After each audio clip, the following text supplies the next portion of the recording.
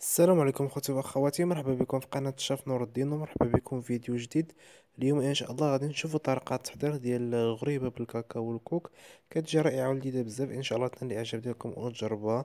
دابا بركة الله غادي نذكروا المقادير وطريقة التحضير. بالنسبة للمقادير غادي نحتاجو على بركة الله واحد 300 غرام ديال الكوك. الكوك من الاحسن يكون كوك نوعية جيدة خميرة حمراء كاس ديال السكر الخشن ما يعادل 150 غرام. واحد الياغورت كاس ديال الزيت ثلاثة البيضات وجوج معالق كبار ديال الكاكاو المر. على بركة الله غنبداو طريقة تحضير ثلاثة البيضات ضفناهم ونضفنا كاس ديال الزيت خميرة حمراء غنضيفو الياغورت والسكر بهذا الشكل هذا. وغادي ندمجو جميع المكونات باش نحصلو على واحد الخليط اللي هو متجانس ديال البيض والياغورت السكر الزيت والخميرة الحلويات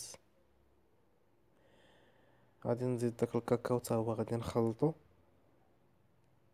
مع داك جوز الهند فبالنسبه لجوز الهند من الاحسن انكم تستعملوا جوز الهند اللي يكون جديد باش تحصلوا على نتيجه زوينه لأن الجوز الهند اللي كيكون جديد آه، ملي كنكونو كنعجنو فيه كيطلق واحد الزيت وهديك الزيت اللي كيطلق كتساعد الحلوى ديالنا باش ما تجيناش ناشفة. كتجي عاطيه واحد يعني واحد المذاق اللي هو زوين زوين زوين بزاف. آه، من بعد هاد الجوز اللي غادي نضيف تقريبا واحد جوج معالق كبار ديال الدقيق.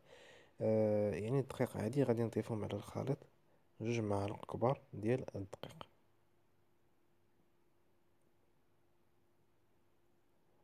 نتوما كما كتشوفوا. ندمجو عندنا المكونات. كما قلت لكم هانتوما كما كتشوفوا ضفنا الدقيق تقريبا جوج آه، معالق كبار عامرين. غير جوج ما تفوتوش جوج معالق كبار. باش هكا نتوما غاديين كتعجنوا وداك الكوك راه كيطلق الزيت وداك آه، يعني وداك الدقيق كيتجمع لينا مع الحشوة ديالنا. هانتوما كما كتشوفوا العجينة ديالنا الشكل ديالها كيفاش كيجي غنحتاجو على بركة الله الماء زهر والسكر الخشن اولا السكر كلاصي فاش غادي نبقاو نمرمدو الحلوى ديالنا.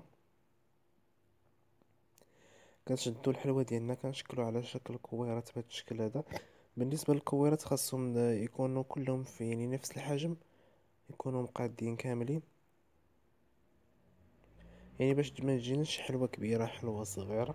خاصهم كلهم يكونوا في نفس الحجم باش نحصلوا على الحلوى في نفس القياس.